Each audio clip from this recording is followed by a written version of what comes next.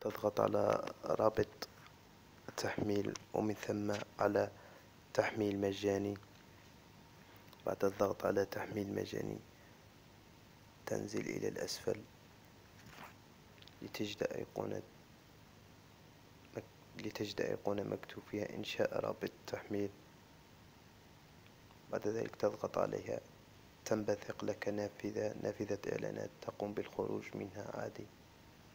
بعد الضغط تنبثق تقوم بالخروج منها ومن ثم تعيد الضغط عليها.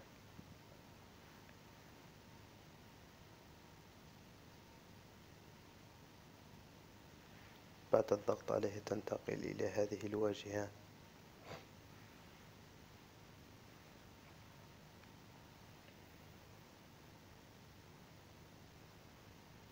وتعيد الضغط على الأيقونة الحمراء. اضغط هنا للتحميل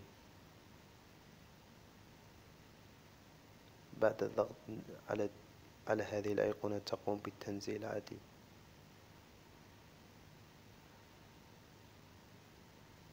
ويبدأ التحميل.